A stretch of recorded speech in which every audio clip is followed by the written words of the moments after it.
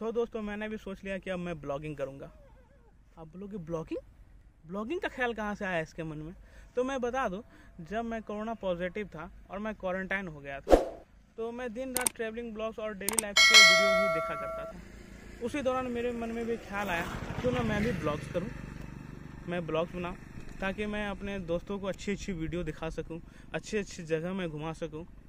तो मैंने भी उस दिन डिसाइड किया कि जब मैं ठीक होकर बाहर निकलूँगा तो मैं ब्लॉग करूँगा। अब रही बात ब्लॉग करने के लिए कैमरे के सामने बोलना पड़ता है।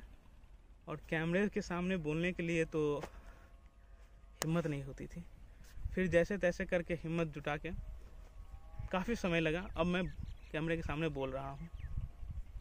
आप मेरे चैनल पे आप देखेंगे जो ब्लॉग्स आएगा, वो ए वन क्वालिटी की ब्लॉग्स आएँगे। और मैं अपने ब्लॉग्स के मतलब कि वो ट्रैवलिंग से रिलेटेड खास करके ब्लॉग्स होने वाला है। दो चार वीडियो नॉर्मल वीडियो होने वाले हैं डेली लाइफ के हो सकते हैं। लेकिन जब मैं पूर्ण रूप से ब्लॉगिंग पे काम करूँगा तो स्पेशली ट्रैवलिंग से रिलेटेड होगा, मैं देश और देश के बाहर के जगह को मैं कवर करूँगा। कहाँ कैसे जा सकते हैं, कैसे खाएँगे, कैसे पिएँगे मैं सारा चीज़ कवर करूँगा। जैसा कि आपको पता है कि बिना प्यार और सपोर्ट के कोई भी इंसान जीवन में आगे नहीं बढ़ सकता है। तो मैं आशा करता हूँ कि आप मुझे अपना प्यार और सपोर्ट ढेर सारा देंगे, जिससे कि मैं मोटिवेट होकर आपके लिए अच्छी अच्छी वीडियो लेकर आ सकूँ। तो क्या आप मुझे सपोर्ट करेंगे? अगर करेंगे तो कमेंट में आप ज़रूर मुझे बताएँ, जिससे आपके कमेंट से मुझे मोटिवेशन मिलेगा और मोटिवेट होकर मैं अच्छी अच्छी ब्लॉग्स बना सकूँ। तो दोस्तों, मैं अपने बारे में कुछ बता दूँ। मेरा नाम है रंजित और मैं बिहार के एक छोटे से ज़िले किशनगंज का रहने वाला हूँ। मैं यहीं से निकल कर पूरे देश और दुनिया को कवर करूँगा।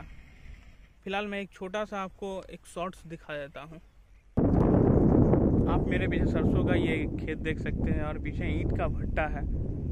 इसी तरह के मनमोहक वीडियो को मैं बनाता रहूँगा और आप लोगों को इससे भी अच्छे अच्छे दृश्य दिखाऊँगा अपने चैनल के माध्यम से so, दोस्तों अंत में बस इतना ही कहना चाहूँगा कि आप सभी अपना ढेर सारा प्यार और सपोर्ट बनाए रखना और इस चैनल को लाइक एवं सब्सक्राइब ज़रूर कर देना।